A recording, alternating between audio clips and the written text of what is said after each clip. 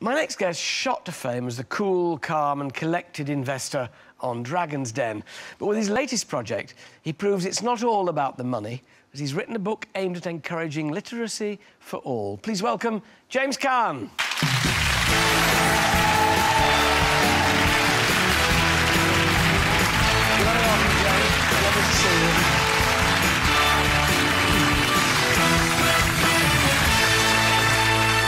Lovely to see you. It's all part of these Galaxy quick reads, which are encouraging people who are, you know, fallen shy of reading or just find it such hard work now to read. But yours, in a way, is, is double-edged. great shot, isn't it? It is a good shot. You, you look very good on that. You, you look, I'd buy a used car from you. you.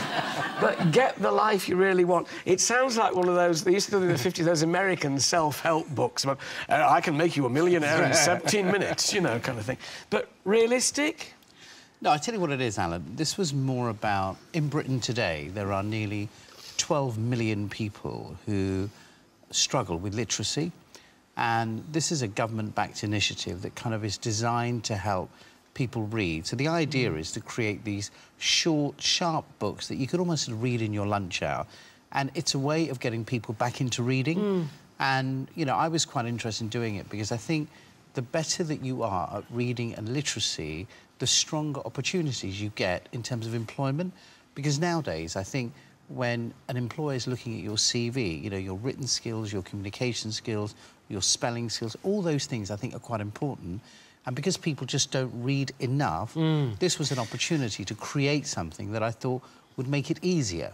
Because a lot of people glance at a newspaper or, or, read captions or, you know, read bits and bobs on the telly or read tweets or, you know, texts or whatever. But reading books, reading extended copy, a lot of people have got to have the habit of reading books now. And it's really a muscle, isn't it, reading? If you, if you don't use your arm muscles, your arm atrophies. If you don't use your reading muscles, then, you know, your powers of reasoning can be affected. It's very important. And that's why I thought this was such a great concept where, if you notice, I mean, this is literally very thin. Mm. You know, it's a quick read. You can literally, in a lunch hour, get inspiration, get ideas, and I think the government are really doing as much as they can to encourage it. And this was just my opportunity of giving something back. I was talking at the very top of the show to three rural entrepreneurs who've really gone out there. One's we making like those, Adam. We like well, entrepreneurs. I like any kind of entrepreneur because it shows you've got off your bum, doesn't it, really? and, and how to go, even if it's only being the best gardener or the best window cleaner in your street. And, and anyway, is that a difficulty today? In when people say that magic word recession, there's a kind of defeated gaze comes over all and say, well, that's it, I can't do anything. It does tend to stultify any kind of personal ambition, the word recession. You think, what's the point? I won't be able to achieve it. So you presumably are the man to get the individual going with that kind of, I can do it. I mean, I've, um, in fact, I've just written another book which is called Start Your Own Business in Seven Days, which is all about that, giving the entrepreneur that very specific guide that says, how do you actually do it? Because coming up with ideas is easy. The question is, how do you implement? And having done Dragon's Den and seen nearly a thousand people come on the show pitching ideas, mm. what I've done is taken all the lessons that I learned from people who came and pitched and thought, making that pitch, what would I have yeah. done? And that's really what I've encapsulated in the book that says, start your business in seven days. In a nutshell, just give us a few of those, a few sort of bullet points on what to do and, and, more than anything, perhaps, what not to do. I mean, you do want to start your own business. What are the must-haves, the must-dos? I think for me, one of the biggest ones is making sure that the idea that you've come up with, is it really a business or is it a hobby? So many people have come up with an idea. It's a great hobby, something you can do in your leisure time, but it's not a business. So my first question would be, is it a hobby or is it an idea? Secondly, have you gone out and spoken to customers who are prepared to buy it?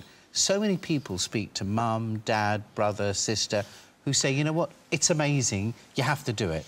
But the market isn't going to pay for it. Mm. So hmm. is it really a viable idea? So if there's a market for it, if people are prepared to pay for it, you must do that first. Mm. Don't just rely on friends and family because to a large extent, they tell you what you want to hear. They're biased and very encouraging. Just a tad biased. Which is very nice of them, but it won't get you to market. Indeed. Wonderful. Good luck with the book. Good luck with the read. You yourself, you're busy at the moment, obviously, always busy. Always looking for that next opportunity. And that's next deal, Alan. And, and people tell me that you're a bit of an entrepreneur yourself. Well, do you know, funny you should say... No, I'm hopeless. I'm absolutely hopeless. The teacher at school in the third form at junior school said he'd make a very good door-to-door -door salesman. Ladies and gentlemen, I'm useless. Ladies and gentlemen, my thanks to James Caan.